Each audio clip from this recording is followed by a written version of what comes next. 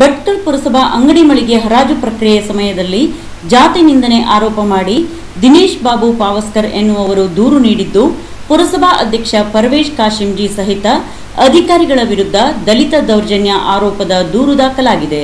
ಹರಾಜು ಸಮಯದಲ್ಲಿ ದಿನಾಂಕ ಅಕ್ಟೋಬರ್ ಹದಿನೆಂಟರಂದು ಸಭೆಯಲ್ಲಿ ಭಾಗವಹಿಸಿದ್ದು, ಅಂಗಡಿ ಹರಾಜು ಪ್ರಕ್ರಿಯೆ ನಡೆಸುವಾಗ ನೈಜ ಪರಿಶಿಷ್ಟರಿಗೆ ಅನ್ಯಾಯವಾಗದಂತೆ ನೋಡಿಕೊಳ್ಳಿ.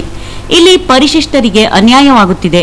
ಪರಿಶಿಷ್ಟರಿಗೆ ಮೀಸಲಿಟ್ಟ ಅಂಗಡಿಗಳನ್ನು ಹರಾಜು ಮಾಡುವಾಗ ನೈಜ ಜಾತಿ ಪ್ರಮಾಣ ಪತ್ರವನ್ನು ಪರಿಶೀಲಿಸಬೇಕು ಎಂದು ಆಗ್ರಹಿಸಿದ್ದನ್ನು ಅನುಸರಿಸಿ ಪುರಸಭಾ ಅಧ್ಯಕ್ಷ ಫರ್ವೇಜ್ ಕಾಶಿಂಜಿಯವರು ಪರಿಶಿಷ್ಟ ಜಾತಿಯವನಾದ ನನಗೆ ಅಧಿಕಾರಿಗಳ ಹಾಗೂ ಸಾರ್ವಜನಿಕರ ಎದುರು ಅವಮಾನ ಮಾಡಿದ್ದಾರೆ ಎಂದು ನಗರ ಠಾಣೆಯಲ್ಲಿ ದೂರು ದಾಖಲಿಸಿದ್ದಾರೆ. ದೂರಿನಲ್ಲಿ ಸಹಾಯಕ ಆಯುಕ್ತರಾದ Mamata Devi G S tahsildar S Ravichandra, ಪುರಸಭಾ ಮುಖ್ಯಾಧಿಕಾರಿ ರಾಧಿಕಾ ಎಸ್ ಇವರು ಕೂಡ ಈ ಸಮಯದಲ್ಲಿ ಹಾಜರಿದ್ದು, ತನಗಾದ ಅವಮಾನ ತಡೆಯಲು ಪ್ರಯತ್ನಿಸಿಲ್ಲ ಎಂದು ಅವರನ್ನು ಕೂಡ ಪ್ರಕರಣದಲ್ಲಿ ಹೆಸರಿಸಿದ್ದಾರೆ. ನಗರ ಠಾಣೆಯ ಪೊಲೀಸರು ಪ್ರಕರಣ ದಾಖಲಿಸಿಕೊಂಡು ತನಿಖೆ ನಡೆಸುತ್ತಿದ್ದಾರೆ.